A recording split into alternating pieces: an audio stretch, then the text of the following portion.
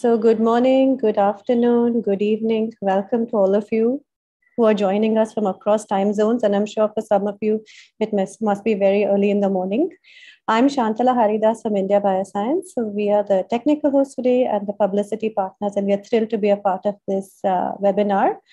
Um, and this is the and a warm welcome to all of you from us and all of the speakers and moderators for the first webinar from the working group on gender equality of the International Union of Biological Sciences, or IUBS for short. Uh, so since we have a kind of power pack session today, I'm going to move forward with the introductions quite quickly. Could I have the next slide, please? So these are the speakers. You'll be hearing more detailed introductions about each of them as the webinar progresses today, but just a quick slide to show you who we have. So we have Catherine, Hayley, Lucilla, who's also a moderator, Renuka, and Sarita um, as the speakers in today's webinar. And the moderators for today's webinar are John and Lucilla. And so with that, um, let's get started a few, just a very few, um, just a few uh, inputs on how to participate in today's session. Uh, we really hope that this is a very interactive session and we hear a lot from the audience. So the way you can participate is that if you have a question, you can put it in the Q&A box. Um, the chat box will be opened very periodically only when one of the speakers or a moderator opens a question to the audience and we want to hear, for, hear your inputs on this. Otherwise, the chat box will be closed and you can keep an eye on the chat box because you might you might hear you know uh, announcements or questions or links being shared in the chat box but chat box will be open for interaction only for short periods of times and if any of the questions that are coming via the chat box, if any of them are invited to ask the question in person, then that will also be announced. So there's uh, no need to this, uh, the raise hand icon will not be used in today's uh, webinar. So we hope that you, through the chat box, you, you, submit questions, you participate actively. This is an important discussion uh, that, that is to be had. So with those brief uh, instructions on how to participate. I just want to add that this webinar is also being live streamed in a variety of different platforms. So it's going out on YouTube, on Facebook, IUBS Facebook page. It's going on going out on the India Bioscience LinkedIn page and on our India Bioscience website. So if for some reason you have difficulties joining us on Zoom, please move to one of these other platforms. There is somebody at all of these platforms who's moderating the session in the sense that they will collect questions from participants across platforms. So this, irrespective of where you're joining us, this will be an interactive session for you. So uh, these links will also be shared in the chat box and you can keep them for your reference. Um, at the start of the session, we just want to get to know a little bit about who you are who is joining us in today's webinar. Uh, so a quick audience poll. Uh, you should be able to see the audience poll. It's been launched. There are three questions, uh, gender, I am from, which is basically where you're joining us from, the continent, and I am one of the following. So, what is your career stage? What are you doing right now? And I think these would be really interesting uh, for us, for the speakers to know, to keeping in mind uh, for the rest of the discussion today. So, we let this audience poll run for maybe 10 or 15 more seconds. I actively invite all of you to, to fill this up. It's three quick questions. Um, I see a lot of you have already filled it in, so thank you. Maybe we can have it run for a few more seconds. Okay. So um, I'm going to share the results of this audience poll uh, with all of you. So you should be able to see the results on your screen. So in terms of gender, so we have a, a predominantly uh, female audience joining us, 81% uh, of the audience is female, 19% of the audience identifies as male. And I'm glad to see that little bit of diversity. Hopefully, in subsequent uh, sessions, this will, the, the kind of pendulum will swing more towards, you know, a more diverse audience. But this is a discussion that is, you know, everyone should participate in.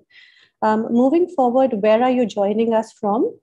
We have um, a large portion of you joining us from Asia. 71% of you are from Asia. 22% of you are from Africa. Uh, we have 2% from North America, 3% of you from Europe. It must be very early in the morning for all of you.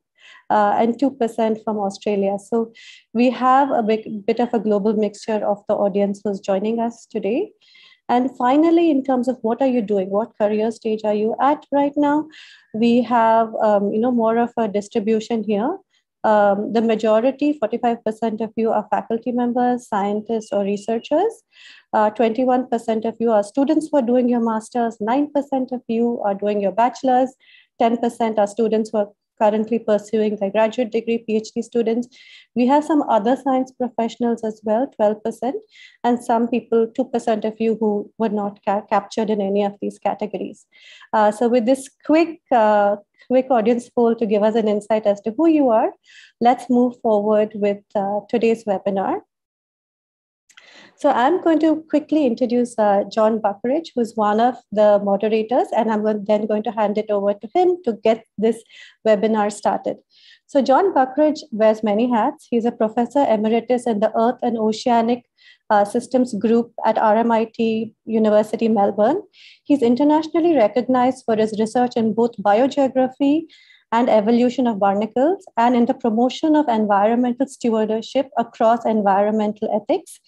He is the President Emeritus of the International Society of Zoological Sciences, a past president of IUBS, a past member of the Executive Board of International Council for Science, Paris, and a member of the Hungarian Academy of Sciences. So, with that uh, introduction, over to you, John. Just. Thank you, Shantana. It gives me great pleasure to welcome you all here today, um, wherever we are, whether it's day or night. Um, I suppose I, I, would like to say, uh, why are we doing this? Is perhaps the, the, the, very, very rather interesting question that underlies everything. And that is that for many, many years, we have been underrepresented at the highest level. In other words, international societies and international unions, by not having enough women um, on boards and executives. And in a sense, that's one of the things that's driven us to try and um, change this particular structure. In other words, if you can't get in there um, and at the highest levels, you can't make changes. I was having a, a talk today to a colleague who said, well, there are lots of women now who are in biological sciences. And in fact, there are more women than men. And I, I suspect that may very well be true in some areas. But is it true at the higher levels? And that's one of the things that we certainly feel is not the case. So in the past, we've had problems and they haven't been fixed today. And just look for a, few seconds at things like the International Society of Zoological Sciences. We've just had our elections and we have a new executive board and officers, only one of whom is a female. So it's rather depressing when this happens. But nonetheless, um, these sort of things, this sort of action and activity and discussion group, hopefully will help us to mitigate this problem. Now, it gives me great pleasure to welcome our participants, and I will be at this stage welcoming Lucia, and her presentation is um, going to come up in a few minutes uh, bioanthropologist she is with expertise in gender mainstreaming from the University of Florence. She is author of the book of Scatterlings and Stakeholders, Diversity, Inclusion, and Transitional Governance of Sustainable Development. And uh, the title of her presentation today is Gender Gaps and the Biological Sciences. So prior to this, uh, there is a question poll we've, which we've done, um, and I suppose in some ways I've also answered that from my perspective. So I'd like to hand you over now to Lucilla, and uh, let's let's um, hear what she has to say. Thank you very much, and thank you very much, John. Um, and good evening, good morning, good afternoon, everybody. Uh, greetings from Florence, Italy. I hope uh, this webinar finds you you and your family well in this still very trying time. But let's get started. And before we start, allow me to ask you a question. Why are you attending this webinar? We're very curious, especially some of you are waking up pretty early to do that. Great. Um, we're going to see the results of this poll after my presentation to see if our expectation matches your results. Thank you. Next slides, please.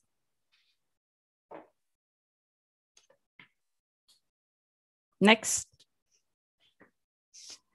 So I would like to open this webinar by recalling a quote by Nadine Gordimer, an amazing woman and writer, also Nobel Prize winner for literature. A good conference is not what happened behind closed doors, but what opens out of them. And why am I telling you this? Because this webinar is not supposed to be considered as a tick the box action. We've done our activity in gender equality. We are okay fine, there's enough activity on gender being done by IUBS. No, this is just the very beginning of a conversation. And what we're trying to do is through these webinars is to trigger new conversation towards identify action in order to narrow the gender gaps in the biological science and beyond, of course. So, on the basis of my experience as bioanthropologist and also working in science policy interface for over 20 years, in international organization, I'll provide a, a brief overview of the following issue. Next.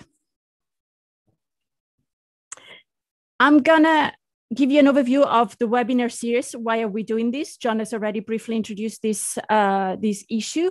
Then I'll move just to recall on some concepts so that we all have the same concept in mind, not just that we wanna force a particular concept, but we just wanna make sure that we understand what we're talking about here. And we're going to conclude, and I'm going to conclude by give you an introduction to this webinar, also to um, highlight that we're going to have specific question and answer session. Next slides, please. So um, as John was mentioning, I would like to restate that the webinar series is convened by the Working Group uh, Gender Equality of the International Union Biological Sciences. And this group was born out of the General Assembly of IUBS in Oslo a couple of years ago, uh, pre-pandemic times, as we say now and really is to ensure that there is a fair gender representation in all activities conducted by the unions. And if you check out the website, you will see there some of the policy of IUBS are also gender aware and gender transformative. And in particular, the goals of the working group are to better understand scientific career pathways and, and impediments to the advancement of women within them. And so we try to investigate different uh, specific barriers. We're trying to determine best system and protocols that IUBS can apply to redress the problem. And also we try to have activities that will promote uh, women empowerment and gender equality. Next. The webinar series is one of them, uh, and this is the first, the first one. And it's also, allow me to say that it's really a way uh, during the COVID pandemic to reach out and to have a conversation. We could really not do this in person anymore through different meetings and reaching out different constituencies. So we hope that you will also spread the word and tell other colleagues to join our webinar series in order to further enlarge the diversity of participants in the conversation. And you find all the information on our website. Next. So as I mentioned, um, the series is really to provide a framework to discuss issue related to different gender gaps, not just gap gaps, and this I will underline afterwards, within the context of the biological sciences community towards identify action towards gender equity.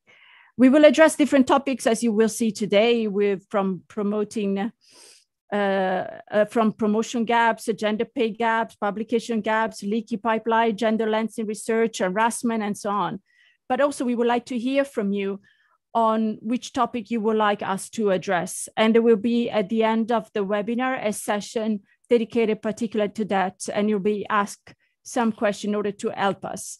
If you're not joining from Zoom, don't worry, you could always send us your comments and input afterwards, also in the survey that will come at the end of this webinar. Next, please. Okay, some concepts. Uh, many of you will know this, but I just would like to highlight uh, some of the concepts. These are the WHO working definition for sex and for gender. And mostly to highlight uh, that in this context, we use a binary definition of gender. We're not referring to different gender identities, but mostly we're looking at male and females. Uh, so in this context, next, the gender gap is the difference between women and men as reflected in social, political, intellectual, cultural, or economic attainments or attitudes. So I say gaps and not gap because there are many different gaps. And it all depends on the context on the kind of situation on the branches of biological science you are in in which university in which lab if you're also working in the private sector there are many many different gaps that needs to narrow and needs to be removed. And here are some examples i mean if you're doing field work you will have different issues. If you're working in a lab you have different ones.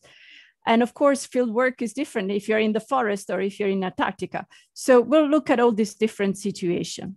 Next, please.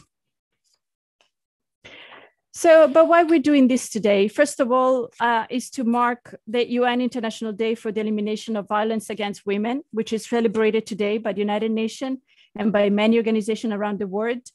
Is through this webinar, we are hoping to contribute to building a culture of respect, equity, and equality because gender gaps are obstacle to equity and equality and hence should be narrowed and removed.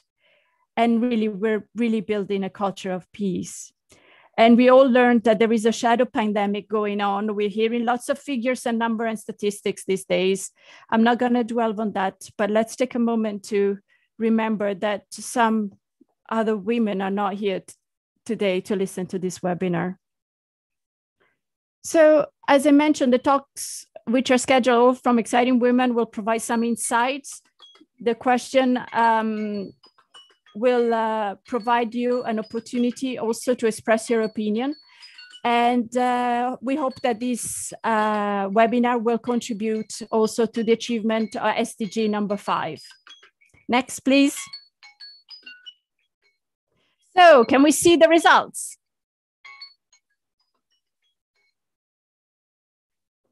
All right. Okay. Not many friends attending webinars. Okay. That's great. Uh, I want to learn more about gender gaps. Great. We're all on the same page. It's going to be an interesting journey.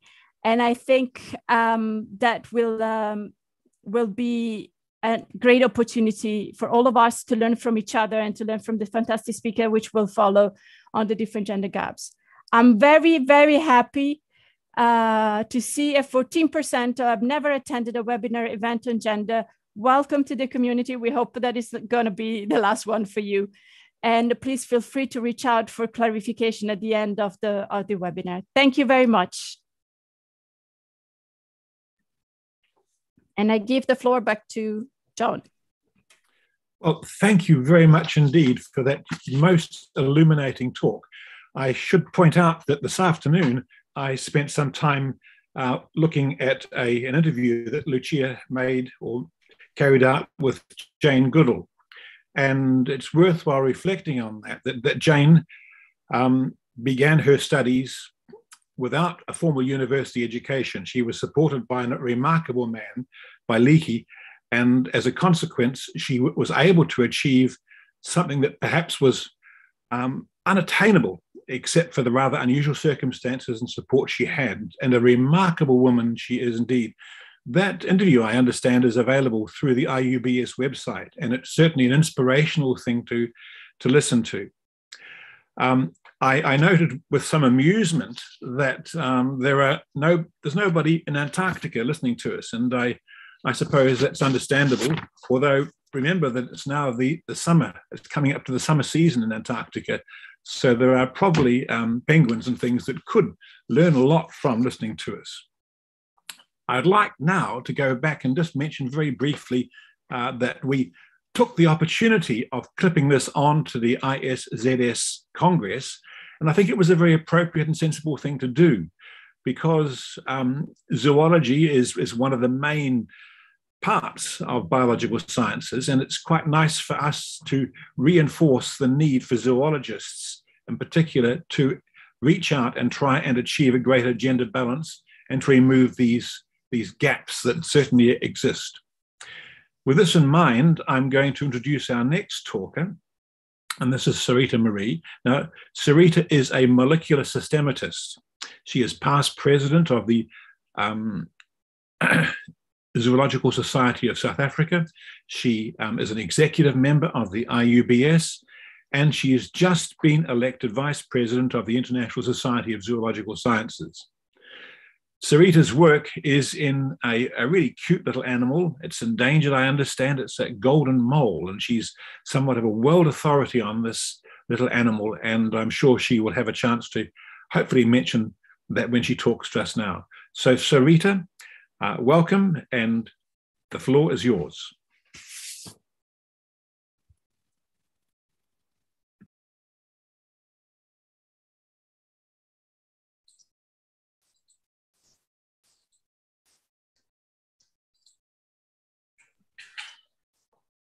Sarita. Good morning, everyone. Good morning, everyone. Um, it is indeed a great pleasure to take part in this webinar. And since I'm living in Africa, I've had a challenge to share my presentation due to load shedding. So I thought that if possible, I could, I don't know, John, I could perhaps introduce Hayley and then she could um, speak ahead of me because that would make more sense at this point so that I can just find the back of of what I need to do, and then at least I can speak from it. Would that be fine?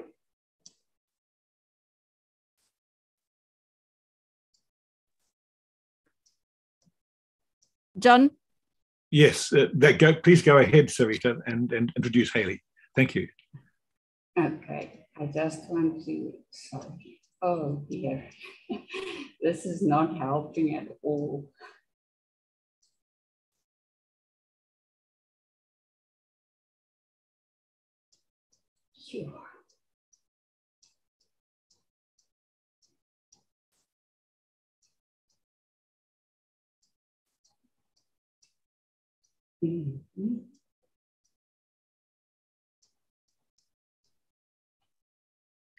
Sarita, I, am not sure what um, what the constraint is on your side, but I'm also happy to introduce myself if that would help to move things along. let me just see. I can't believe this in front of all of these people. But, you know, Africa is, is not for, um, as they say, for sissies. and uh, I will just, I just want to see if I. Um, um, Sarita, yes. allow me to allow me to introduce Hayley because I'm. Uh, um really i'm really impressed with her work and with her cv and this is also a great opportunity to advertise a new opportunity also for uh, for further researchers. So there are a lot of researchers um, attending the, the webinar. So Hayley Clements is the inaugural recipient of the prestigious Jennifer Ward Oppenheimer Research Grant in 2019. This is a new, a new opportunity for research grant which was established to honor the late Mrs. Jennifer Ward Oppenheimer. And so she continue her extensive contribution to and passion for Africa, the environment and science. She's a great researcher and conservationist, and we really look forward to hearing from her about her work. And uh, please, everybody, if you're working in Africa, if you're from Africa, check out this new research grant opportunity. This is also a way how we can further gender equality by spreading the word about great opportunities like these. Hayley, to you. Thanks. Thanks very much, Lucia and, and Sarita. And um, as Lucia says, it really is a wonderful opportunity. I'll share a link uh, in the chat after my talk. Um, this grant has really enabled me to remain in science. Um, so I'm very happy to promote it. I'm just going to share my screen. Uh, Lucia, can you please give me a thumbs up if you can see my screen, full screen? Yes, thank you very much. Um, so I, I, feel like a bit of an imposter in the sense that I am not an expert on women in science. I just am a woman in science. Um, but the, this project that Lucia mentioned that I had this grant for, um, what was unexpected that emerged from it is this notable gender gap in um, African biodiversity experts uh, that I brought into the project. So what I'm going to do this morning is to just tell you a little bit about the project itself to set the context and the process that we went through in this project, and then to, to highlight some of those gender gaps that emerged. Um, so as many of you will know, uh, the upcoming decade is critical around the world. It's also particularly critical in Africa, where we're really experiencing rapid socioeconomic growth. That that growth and development is navigated in a way that doesn't surpass a boundary of biodiversity loss, beyond which we all are negatively impacted. Now, the major difficulty, or one of the major difficulties, um, is in these aggregated biodiversity indices that we currently have that feed into international target setting, that goes down into national policy, etc., is that they're really constrained by the kinds of biodiversity data that exist. Um, so they often only focus on proxies of biodiversity loss, things like habitat loss, or they just look at species presence, absence, or level of threat. Essentially, they tell us things about biodiversity loss that don't really capture how biodiversity contributes to ecosystem function and thus ultimately to ecosystem services and human well-being. And so this project aimed to address this knowledge gap by quantifying what's called a biodiversity intactness index for Africa, and importantly, to do this through an Africa-wide collaboration of biodiversity experts.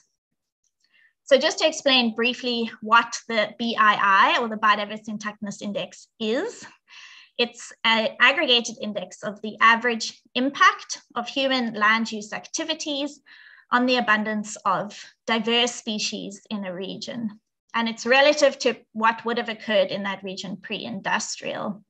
Now, why it's believed to be a better index than some of the aggregated ones we have so far is because it focuses on abundance and full suite of species, thus getting us closer to ecosystem function. Now, in an ideal world, we would be able to estimate how very diverse um, types of human activities across the continent are impacting on the tens of thousands of species that occur in the continent. But of course, in reality, that's not practical. And so we, we make two necessary simplifications. The first is to categorize this broad suite of human activities across the landscape into these quite distinct landscapes that are characterized by certain types of land use, human activity, etc. And then secondly, we group species into groups that we expect to respond similarly to change instead of trying to estimate them all individually. And I'll speak a bit more about that in a, in a little while. So at the core of the BII is this algorithm. Basically, it needs to know the area of these different landscapes that are across the continent, the richness of biodiversity within um, the different regions across the continent. And then at the core of it are these impact scores. So what is the impact of these different landscapes on the abundance of these different groups of species? Now, again, in an ideal world, we'd be able to measure that using field collected data. In reality, that's quite challenging. So this is one of the biggest databases around the world on uh, the occurrence and abundance of biodiversity. It's aggregated from a whole bunch of different published studies that have measured uh, the abundance of different species across different landscapes. And what you can see quite clearly here um, is that there's massive geographic gaps, notably the majority of the African savannas are missing in terms of uh, data on biodiversity. Um, and what you can't see here is that this data is also very biased to certain groups of species like uh, birds and mammals. And so what the approach that we're taking instead is an expert elicitation. So what I've done in this project is that I have reached out to experts in African biodiversity across the continent and asked them to participate in the structured elicitation process where essentially how the process works is that I identify a lead expert in each of the major taxonomic groups. And then I ask them to reach out to experts that are knowledgeable in African biodiversity in that group, both across the continent and elsewhere in the world. They're invited to participate, and then we take them through a structured process whereby they estimate how uh, the different groups of species that they're knowledgeable in, how they are impacted by different types of human landscape change. So over the last year, we've run seven of these uh, expert elicitations. The names there are the lead experts, half of them are women. A couple of these uh, are still in progress. Um, and, and so, so far, we've had 136 experts participate in this project, uh, estimating based on their knowledge how the groups of species that they're uh, ex experts in are impacted by different types of landscape change. So they come from 22 African countries, as well as experts that have contributed that live elsewhere uh, in the world. And this shows you the number of experts across the different taxonomic groups. So about 20 to 30 experts per species group. And we have a website now up where you can go and meet all of these experts and learn about the important work that they do, be they working for a museum, a research institution, an NGO, etc., in these different countries. Um, and we did quite well in terms of um, recruiting experts that had expertise across the uh, regions of sub-Saharan Africa. So you can see that there on the left. And on the right, you can see that we also did quite well, though arguably not as well as we could have in um, bringing in African based experts. So we wanted to bring in everybody that had expertise in African biodiversity, but we also wanted to particularly seek out African experts that may not have, you know, be, have published the science papers on the topic because they actually you know work as field rangers or uh, in local museums etc but really hold the knowledge that is necessary for this project.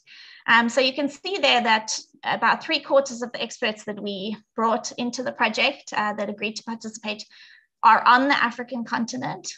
Um, we do have a bias towards South African contributors compared to the rest of Africa. The rest of Africa were about a third of the experts that contributed. Now, this trend emerged, which um, I, I didn't expect. So again, to say that this is not, this project was not research into the gender of African biodiversity experts. This was just what emerged um, from us actively trying to seek out as many experts as we could in African biodiversity to contribute to this project. Only 20% of the experts that have contributed so far are women. And then these are the same plots, the region and the nationalities, but now I'm just showing you the proportion of women. And what you can see here is that firstly, in terms of the region of expertise, we really struggle to get women with expertise in Central and West Africa in particular. And you can also see here on our expert nationalities figure that it looks radically different to the one before. So if you look at that 7% there, I'll just scroll back to the other figure. So 34% of our experts in total were African experts outside of South Africa. Just 7% of the women that contributed were African experts outside of South Africa. South Africa, the representation is quite similar. And then we see the, the gap from, um, from African experts is really filled by expert, expats living on the continent as well as foreigners. So, so really we, we are lacking African, we're, we're lacking female expertise in this project and particularly African female expertise. Now, again, I am not a gender expert. This was an alarming outcome for me as a woman in science. And so I think it really, you know, raises a bunch of questions as to, to why this why this is. Is this representative of the proportion of female biodiversity experts across the continent? Was there something about our process that um, prevented us reaching out to these experts, etc. So this is, I found to be a really interesting paper that I'm sure others will also talk about and, and may have read, just thinking about this leaky pipeline of women uh, in STEM. You know, women fall out at every stage, I think, of the, the career journey, right from the beginning, where they're less likely to get opportunities as graduate students or postdocs, to struggling to get grants, um, etc. But this is global research, and I would be really interested to understand whether are these leaks just worse across Africa or are there other dynamics also at play? Um, a, a, few years ago, uh, at, uh, on Women's Day, I asked the expert, uh, I asked the researchers at the center where I'm based, which is the Center for Sustainability Transitions in Stellenbosch uh, in South Africa, their perspectives um, on women in science. So this is a center where there is a female co-director. There are a lot of women from South Africa as well as Southern Africa in the center. And this just shows you some of their um, perspectives. And I think what comes out here quite strongly is really the importance of women role models um, for, for keeping women in science. And I can certainly uh, speak to that for my own um, career as well. Seeing other women that have forged the path and thrived has really uh, been useful. And then also some of the women in our center have worked overseas in places that have better uh, or more equitable parenting policies and women just re- reflecting on that as well and how um, much that helps to enable uh, women to stay in science. So I put this question out to you um, uh, in the poll, or maybe I'm not sure if the poll is now gone ahead. Otherwise, maybe we can do it now. But you know, based on that leaky pipeline international uh, uh, paper, but then also what you know the experiences have been in South Africa. These are, I think, some of the reasons that we, you know, we really need to work on to enable more women to stay in science. But I would be very interested to hear from the experts in, uh, on this panel and your experiences from, you know, across the world, and particularly those of you in Africa, as to whether there's other aspects as well that we really need to work on, so that um, my figure of African biodiversity experts and the contribution of women looks radically different if we were to do this again. So I'll leave it there. And yeah, thanks very much for including me in this important conversation. Thank you very much, Eli. Um, very interesting uh, research project and also very interesting res uh, results concerning women's participation. I'm curious to see the results of the poll if it's ready. And um, there are also some, okay, let's look at this. Mm. Uh, female mentors and role model in science 33% yes equal access to education. There's still a lot of work to do. Addressing biases in selection committees for employment and grants. I yeah. agree. Supportive parental policies and others. Um, if you want to express what the other is in the question and answer, uh, feel free to do so. Um, we'll be very interested. Uh, there are a couple of questions um, related to, to your talk. Um, well, one on a more, let's not be speciest, uh, we're talking about gender, but we're also interested in science.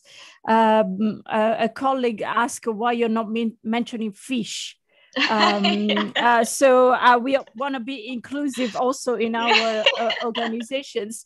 Uh, so i could also put you in contact afterwards on this. But also another question uh, is how do you get collaborators? Um, sometimes you know it's difficult for international yeah. research grant application. Was it hard for you?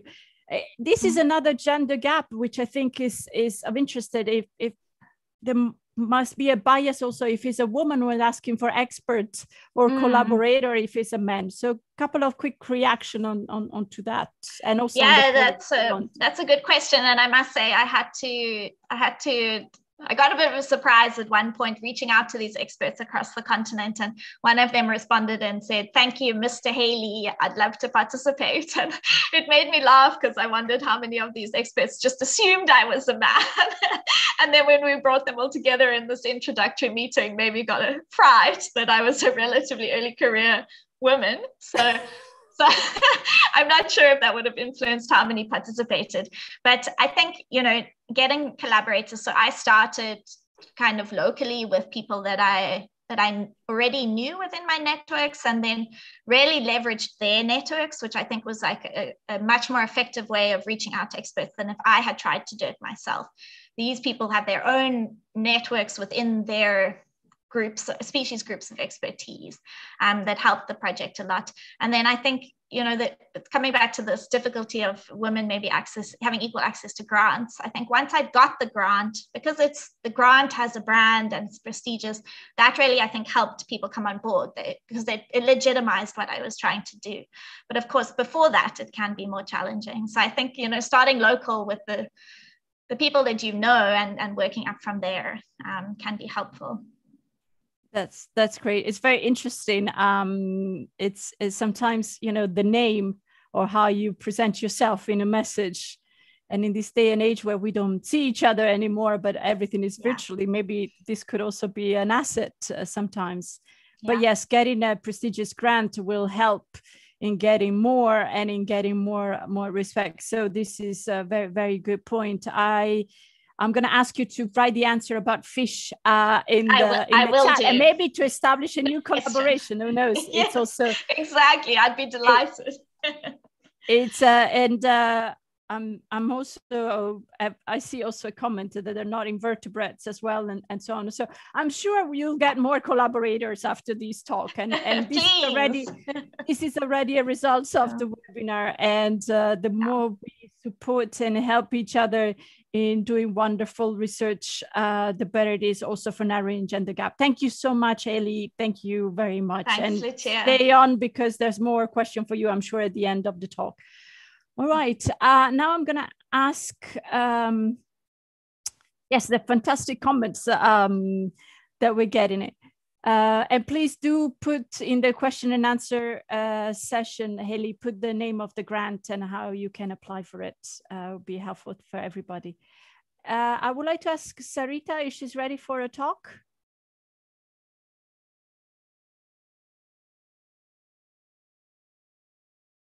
Or we continue. Sarita? Um, there is a technical problem. Um, I'm so sorry about this, um, uh, but this happens. Um, so I, I, would like to suggest you moving on uh, with the following talk uh, by Catherine Jami. And allow me to introduce her. Um, she's an amazing researcher. She's a senior researcher at the French National Research Council She's trained in mathematics and in Chinese studies, and she's an historian of science. Her field of research is the circulation of scientific and technical knowledge between China and Europe in the 17th and 18th century, and the appropriation of such knowledge by Chinese imperial state. She also has an interest in the history of women in science. She's the editor of the journal uh, East Asia Science, Technology, and Medicine. She's the Secretary General of the International Union of history and philosophy of science and technology, what is usually referred to IUFOST. This is one of the great acronym of our community. She played a driving role in the foundation of the Standing Committee for Gender Equality in Science in 2020 and is currently its chair. If you go to our website, you also find a link to this particular uh, committee. But Catherine, it's a pleasure to have you here for the webinar and the floor is yours. Thank you. Merci. Thank you, um, Lucilla, for this introduction and um, uh, good morning or afternoon or evening to everyone. It's a pleasure to be here today. And for me, it's a particular pleasure because, uh, as Lucilla has suggested, I am uh, often in conversation with colleagues from East Asia, but I see that here I have a chance to um, uh, reach out to colleagues from uh, other parts of the world with whom I seldom have opportunities to uh, interact. So next slide, please.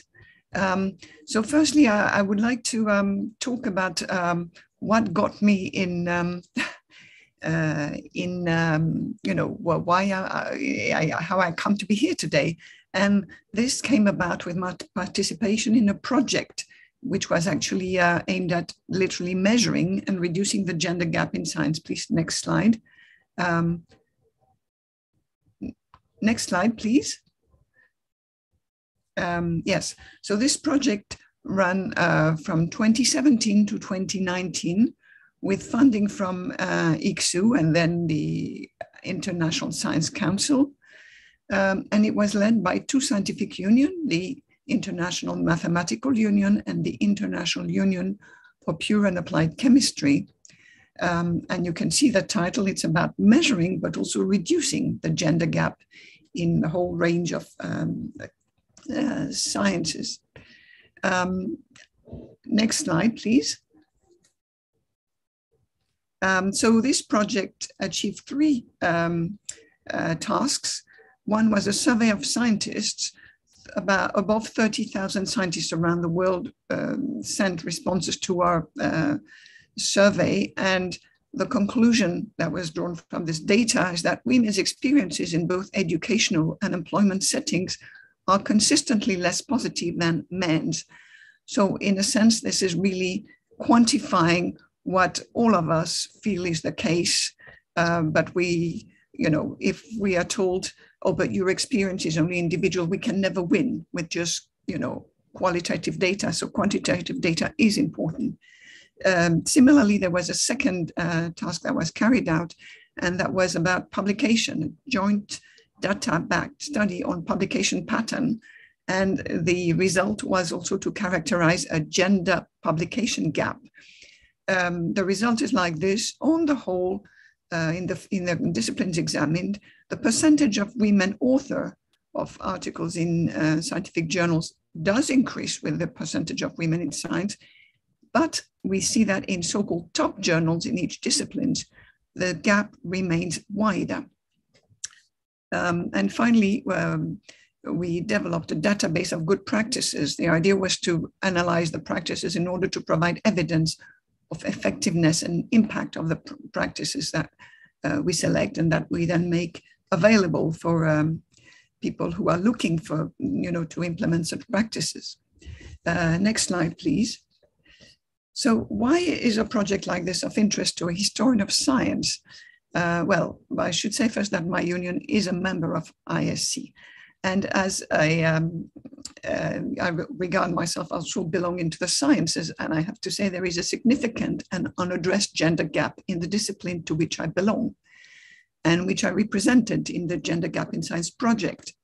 The second reason why I'm interested is because historical studies on women and gender in science can and do shed light on two important points why the gender gap in science persists and how historical and scientific discourses and practices may contribute to perpetuating it. We need to be aware of that. And last but not least, I think this project was, I would say, in itself a historical event. It's an important first because it was conducted by women and men of science rather than by science policy makers. And I think it's also the whole uh, you know, why it's so important that it's IUBS that has started a series of webinars, meaning we are going to work from within our communities on, you know, how our institutions work to make sure that we address and redress uh, the gender biases. Uh, next slide, please. So let me give you just um, a few um, uh, reflections from a historian of science on how um, representations of science and scientists uh, inside and beyond our communities uh, com convey and perpetuate the gender gap. Next slide, please. Um, so um, in 1957, they started a series of studies that are still continued, and these are called the Draw a Scientist test. Basically, you go into a classroom, or rather, education scientists go into classroom and ask all the children there, please draw a scientist. Um, I should add that, of course, it works very well in English, in languages like French or Spanish.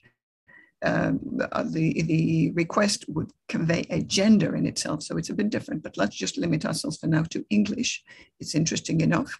So um, this, this test has been uh, carried out for more than 60 years. And for example, by 1999, the perception of scientists as being male Caucasians working indoors with chemistry was still prevalent. And by 2018, just three years ago, only three in 10 children asked to draw a scientist drew a woman. but that is more than ever. So it's our general impression that yes, things are improving, but it's terribly slow. And um, we are quite right in getting impatient. Next slide, please. Uh, so children are not more biased than anybody else. They just draw what they see. According to uh, uh, UNESCO uh, statistics, around 30% of scientists around the world are women. Uh, there are no data for USA and Canada, so I give you the, the figure for what it is. So for me, the, the question is, um, there is a difference between presence and visibility.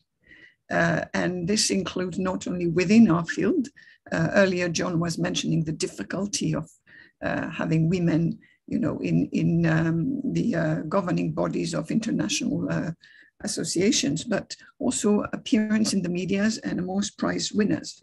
Next slide, please. So if we look at um, people who were awarded Nobel Prizes and Fields medals up to, that's, uh, up to last year, uh, and if we look at the various disciplines, uh, we can see that it's, uh, well, the, the extent varies, but it's always the same pattern. That is uh, very few women compared to the number of men. Um, and in fact, received historical narratives of scientific disciplines perpetuate a similar discrepancy um, between reality and visibility, uh, similar to the one we can see in this table. This discrepancy is both a consequence of the history of women in science. It is also a hindrance to the reduction of the gender gap in science today. Next slide, please.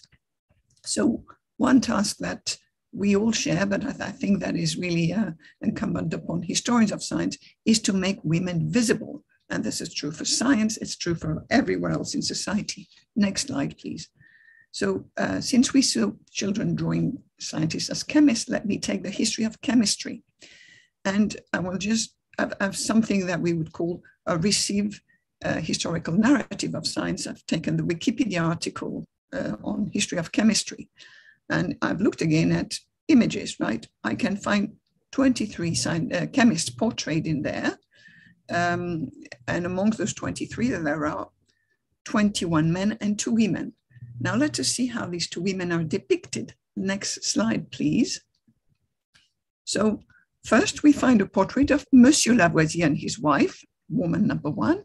Secondly, we find, if we look very closely, that in the first Solvay conference held in Brussels in 1911, there was one woman among, um, as you can see, quite a few men. Next slide, please. Now, who are these women? Um, the first one is Marie-Anne Paulze Lavoisier, who, besides being uh, Monsieur Lavoisier's wife, was also a chemist in her own uh, right. The other one is Marie Skłodowska Curie. I think we all know about her, uh, but she had to win two Nobel Prizes, not just one, in order to, uh, um, you know, be the woman scientist that everybody uh, uh, refers to. Um, now, next slide, please. So, can we do better than this? Because what I'm doing now is I'm spotting the few women on lists that record the memory of science. And these women are a few, mostly white women in a crowd of mostly white men. Um, now, I'm not criticizing chemistry because other disciplines do not fare better. I'm not criticizing Wikipedia either. Wikipedia has a wiki project called Women in Red, the purpose of which is to create more entry on women in it. So, as we all know, Wikipedia is what we make it.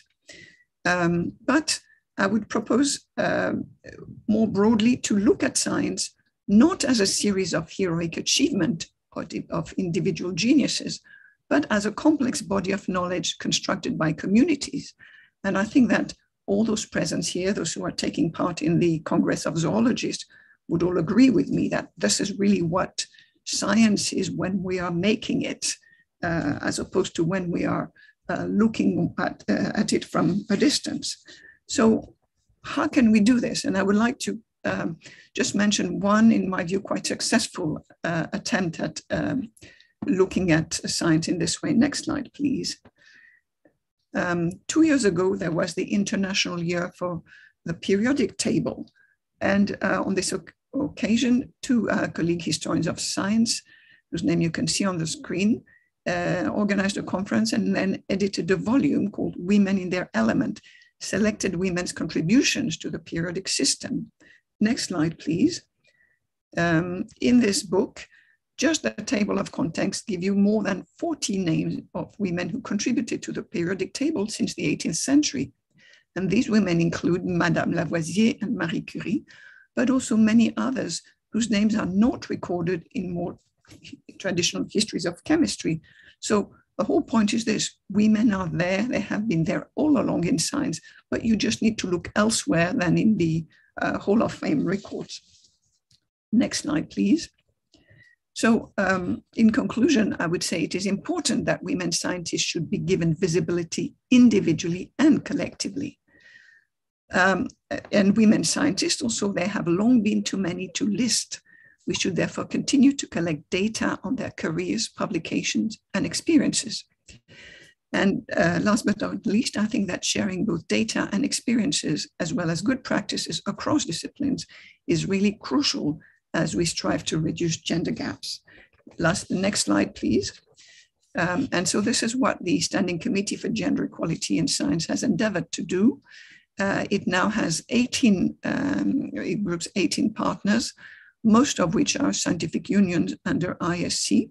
And um, of course, one reason why I'm here today is because the International Union of Biological Sciences is a partner of that committee. Thank you for your attention. Thank you very much, Catherine. And I think we can launch the question and the poll now. I always find very fascinating uh, Catherine's talk about finding women in different photos and in different situations. All right, we have the results. So do you think the visibility of women zoologists matches their actual presence in the discipline and contribution to it within the profession? 77, no. Wow. Do you think the visibility of women zoologists matches their actual presence in the discipline and contribution to it in public media? 86% no. Uh, I, uh, right, I don't think we're surprised um, about, about this, but it's, it's very telling how much the difference is. Catherine, would you like to, to comment on it?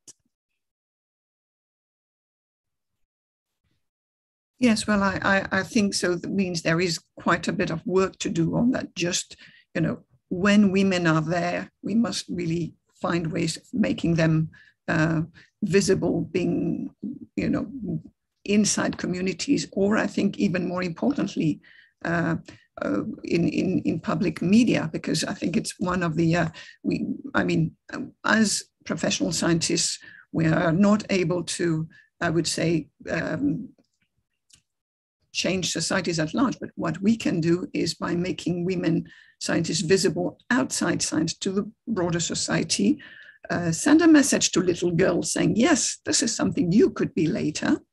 And um, also to their parents, to their teachers, etc. So I think this is really a crucial, um, a, you know, a crucial issue, and that we can do something about it because making them visible inside the profession will also um, you know, help making them visible um, in media and more widely. Yeah, thanks. And I have I've seen the questions that are coming through through the systems, and in particular, uh, I request to share materials uh, on this on on the gender gaps. And uh, Catherine, would you like to highlight a little bit the the book and the maybe the journal issues that are coming out of of, of the Gender Gap project and where they can be found? Um, yes, I will put the, um, I think I will put the link to the Gender Gap uh, in, in, in the chat when just uh, in a few moments. But uh, yes, this book is available. You can download it um, uh, for free. And um, there has been also published in uh, earlier this year a special issue of the journal Pure and Applied Chemistry. So that's the contribution of the International Union of Pure and Applied Chemistry. Um, and I think even, you know, an event like this is also an outcome of the uh, gender gap. So I think various unions are taking initiatives and the Standing Committee for Gender Equality in Science is also going to start its webinar. So I think there is now a, a you know, a, great um, variety of initiatives and I think one of the things that our standing committee will do is to advertise them on a single web page that people can um, can see uh, where to go and what's happening, so we can we can really um, have an idea of how varied this is. Fantastic. And and there is a question, a specific question, how to become a member of this committee. Um, so the committee is not a committee of which individuals are members. This is something that brings together international unions. So unions are themselves federations of national uh, uh, committees or societies. Um, and I, I, should say that although I find that, of course, association and individual membership groups are important, the reason why um, the standing committee, I think the, the, the, added value is that in international unions, one country, one vote, uh, whereas in many fields, at least in mine, international association tend to be very, very centered on the North American continent with a bit of Western Europe. Whereas um, I think it's really good when each African country has one vote and each uh, Asian country has one vote, because this is more what the world is like, right? So um, this uh, committee doesn't have individual membership, but please, you can contact us by email and we can keep you uh, informed of what is going on and, uh, um, you know, pass on uh, information. And you can yeah. pass on information to us too. And, and also allow me to say you can reach out to your union if you belong to one or if you see that your union is not represented now taking action on gender equality maybe you could be the catalyzer of a new uh, a new member of the of the committee in the future. Um, and also remembers that unions are international but they're also association at the national level. And so you could be involved at, at the national level as well and shaking up maybe where the gender equality issue or the diversity issue uh, is not is not addressed. So please do reach out and and also reach out to people who never thought about this. Uh, there is another interesting points in one question, if I may, Catherine. I know you're you're uh, um, you're very interesting to find different viewpoints also in your research on where, where female scientists are. And there is a colleague in the Philippines that talks about uh, the mentioning in science textbook. There are not many female scientists mentioned in science textbook.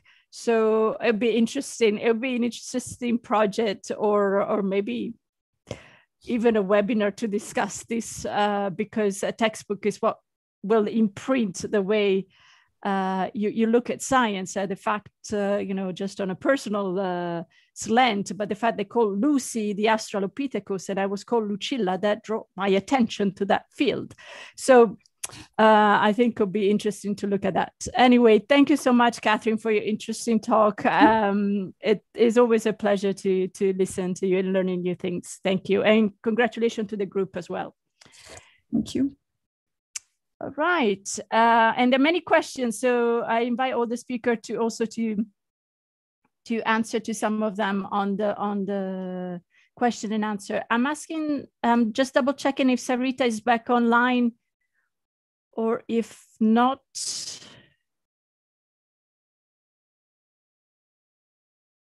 We are going to listen to Renuka Badhe.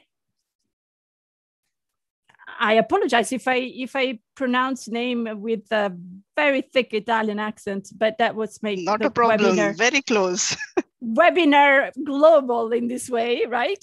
Um, all right. We talked about in the Catherine Jami uh, um, talk about Wikipedia, and that links very well also uh, to your presentation and to the work that your community is doing. So allow me to first so tell me how you say your last name so we could all. Uh... You were very close. There's okay. uh, there's a sound in there that doesn't exist in European languages. Ah, okay, so okay. It's very difficult to pronounce, but I can introduce myself. My name Fantastic. is Badhe. Okay, so she currently serves as the executive secretary of the European Polar Board based in the Netherlands. She has previously worked with the Scientific Committee on Antarctic Research, SCAR, and currently serve on their Equality, Diversity, Inclusion Scoping Group. Uh, she has an amazing educational background in economics, public policy, and Southern Ocean phytoplankton physiology.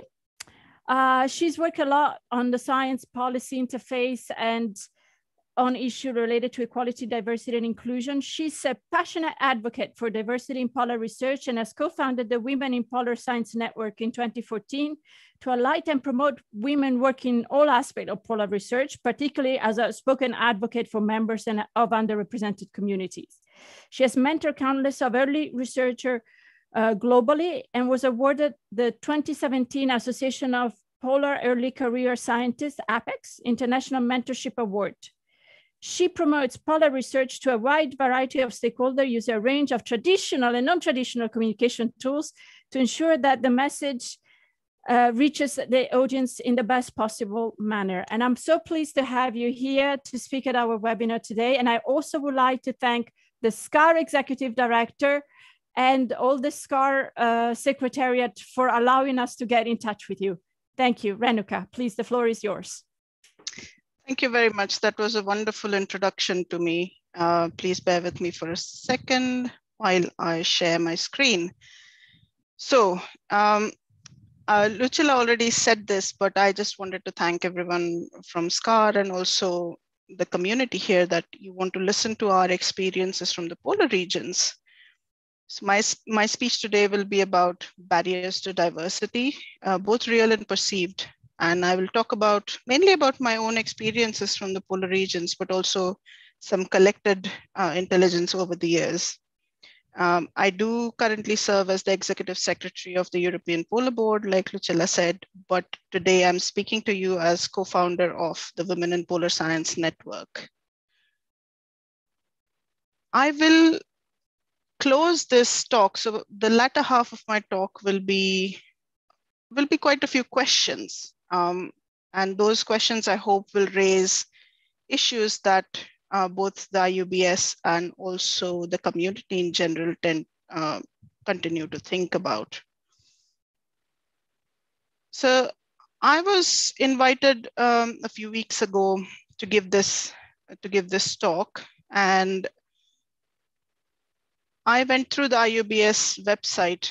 Um, the first thing I saw in there was the header statement. IUBS acknowledges that women have long been disadvantaged in the pursuit, pursuit of bioscience. Now, the first step to changing something is always, always to acknowledge um, that there is a problem and that problem exists. And I was super, super happy to see that such an headline, such a headline statement existed on the IUBS website. However, when we look at the photo of the executive committee members, there's a lot of comments like, why did no or so few women nominate themselves for a position on the executive committee of the IUBS? There are so many people who are very well-meaning, but by saying or questioning things like that and putting the putting the onus on women they they kind of express surprise that women don't nominate themselves for high level position on board this really underlines the lack of um, knowledge of all the structural conscious and unconscious biases that exists right from primary school for women uh, against women taking up science subjects right from the beginning. So Catherine spoke about the Picture a Scientist uh, project, and I'm glad I didn't include it in my presentation, otherwise it would have been a complete repetition, but I have another example in there. These kind of biases in social conditioning happen from a very young age, four to six years of age, and they continue through the ages and affect women through their life. Now imagine that you're competing against someone who's carrying that baggage already. So, you know, you have to take that, everyone has to take that into account. How do we, what else are we looking at? We are looking at the fact that there are fewer women at higher career stages. And there are more invitations to these fewer women just to showcase the diversity in that com community. So the few women that are there are stretched particularly thin. Women also in general tend to bear a higher burden of things that are non-recognized academically.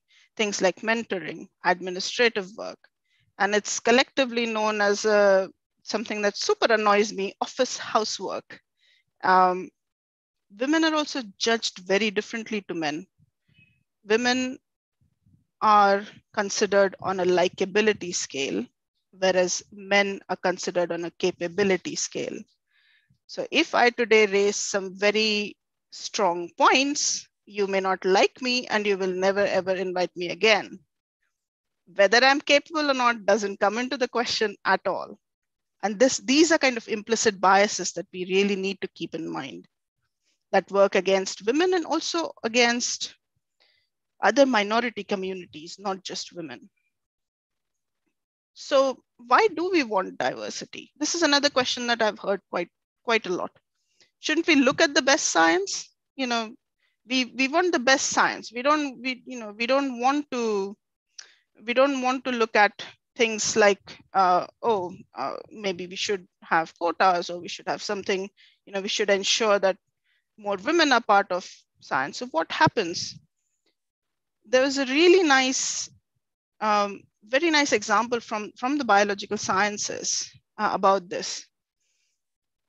We know that researchers of different genders and backgrounds contribute very greatly to the diversity of questions and approaches uh, in science.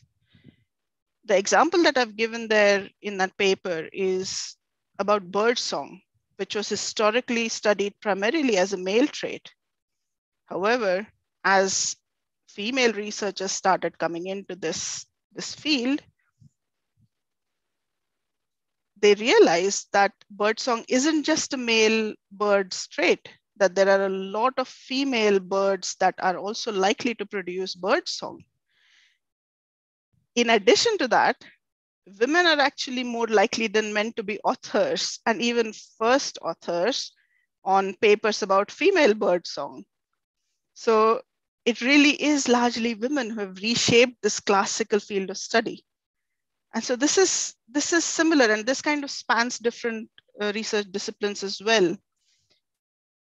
So it's, it's not just about, about birdsong, but also female authors tend to publish more often with women co-authors and therefore opening doors to greater funding and more opportunities to more women in science. So it's it kind of it's a chain reaction that happens.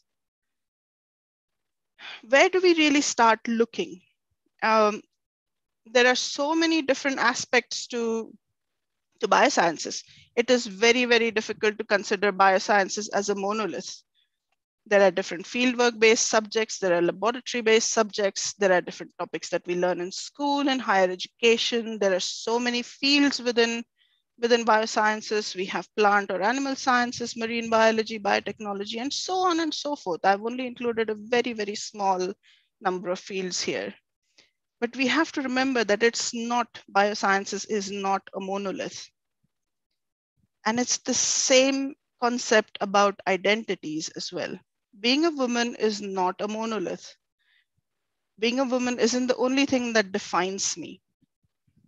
There's so the, in this slide, you'll find just a few ways of defining who I am. And that really matters because how people perceive me will directly affect my experience within, within that place. For example, do I appear as a young woman in, a, in an academic conference? I've been blessed with Asian skin, so I don't look my age, which is nearly 50. So people often mistake me as a PhD student, and that really affects my experience because when I speak with experience, people don't take that seriously. So it, it really has a very direct effect. Does me being non-white make my experience, experience different? How do all of these different aspects affect people's perception of me. It's very well and good to start with just gender and to work to increase women's representation in biosciences. But unless we start including, uh, looking at inclusivity as a whole and taking intersectionality into account, the practices that are put in place will get outdated very, very quickly. And I've, I really like the I think almost the very first question that popped up into the Q&A box, and I've copied it in there, is we are not looking at this just from a binary point of view. To look at women and their issues is just the start. And we are definitely, you know, there's efforts out there that are that are not just for women, that are for looking at all these different different identities that I was speaking about. So, um, how do we uh, we go now into the polar world? Efforts to improve gender gender equality have um, have evolved in various ways across the world. Uh, the first thing that happened within the polar world was that it was considered a very masculine field. Um, it was considered as, you know, heroic men, adventurous men were needed, strong men were needed. Um, and the advertisement on the right was the one placed by Shackleton for his famous trip to the Antarctic. You'll be surprised to hear that women from many countries were barred from polar research well into the 1990s. So it's, it's a very recent thing. Formal barrier, barriers still persist for some women. So for example, if they are within the LGBTQ um, spectrum, they will have issues. Women with disabilities may be barred from fieldwork. So how can we better our professional networks and societies to affect any structural change, we need to know what the baseline is. So the collection of data is paramount. And this data also needs to be desegregated.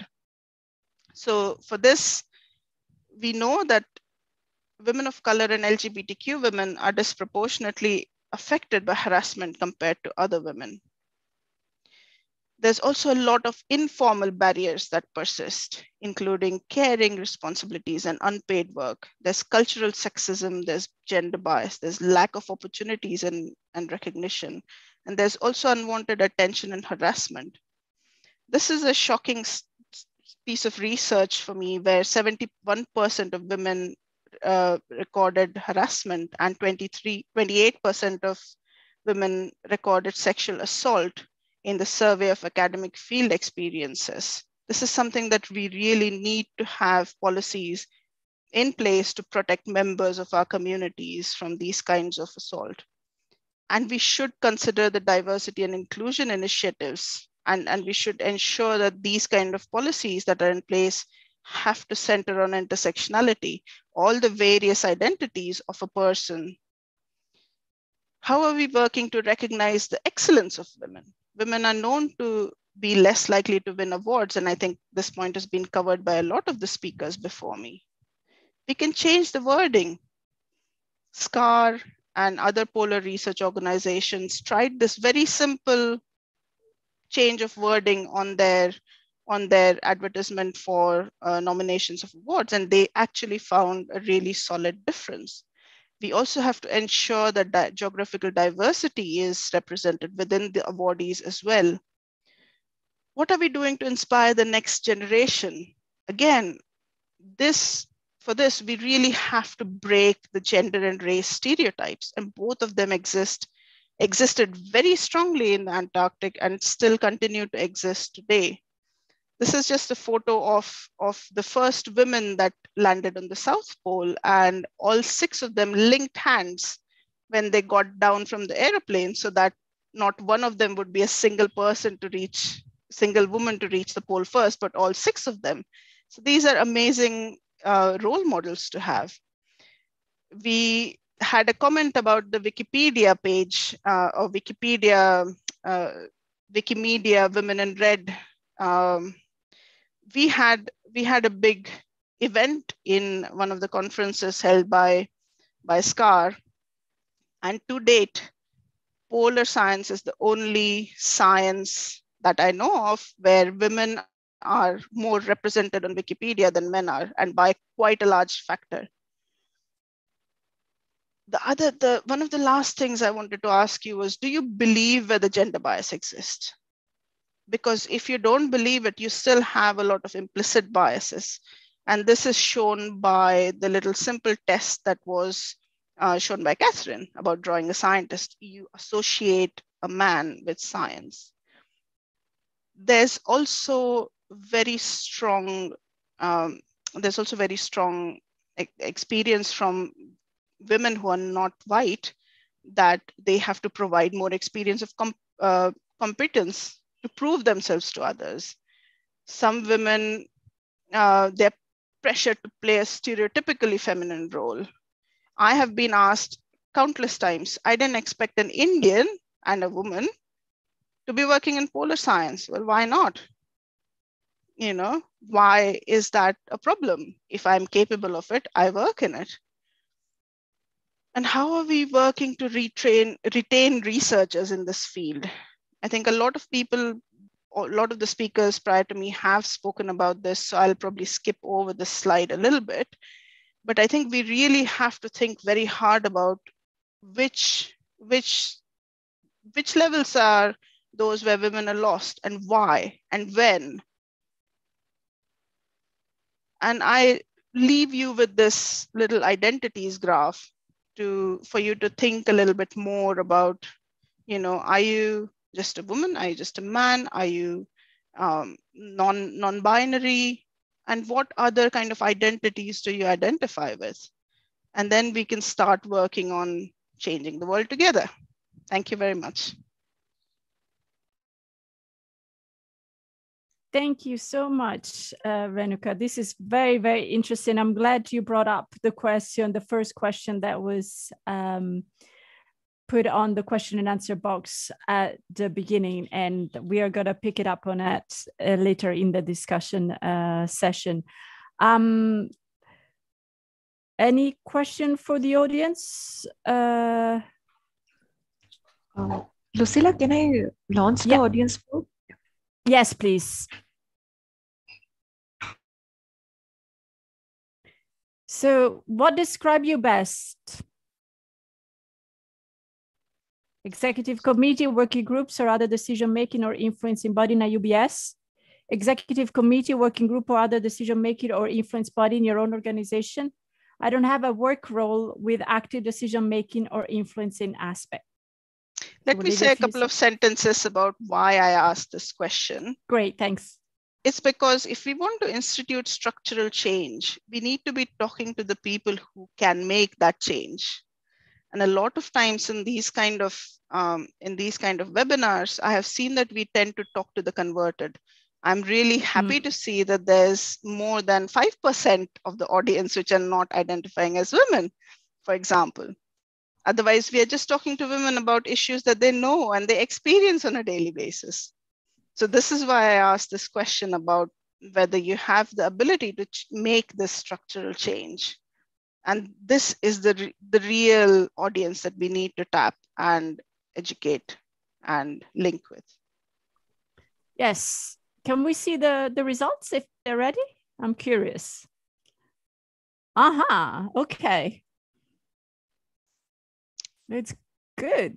It's uh, the majority, 57%. I do not have a work role with active decision making or influence aspect. I hope that by the end of the webinar series, um, those of you who have clicked that maybe will have some uh, decision making or influencing uh, or influencing aspect in your uh, in your portfolio as well by reaching well, out also I, to different committee. Um, and sometimes you don't need a role; you just need the right ideas to do that. Yeah and i think i think this also underlines the fact that we need to reach out to these people more um, to ensure that they also attend the ones in power attend. People on the executive committee of iubs or all of the working groups have to be invited to attend and have to be told that it is super important for you to attend to understand the issues there. Yes and allow me to to thank the iubs executive director uh, for advertising uh, the webinar widely, as well as our colleague at IndiaBioscience, India Biostreams, for making sure that we reach to different communities on this. There are many questions, and um, I, I, like to to choose one because uh, I've been puzzling myself over the issue about the likability, likability for women and capability uh, for men. Um, is that type of perception coming mainly from men or women too?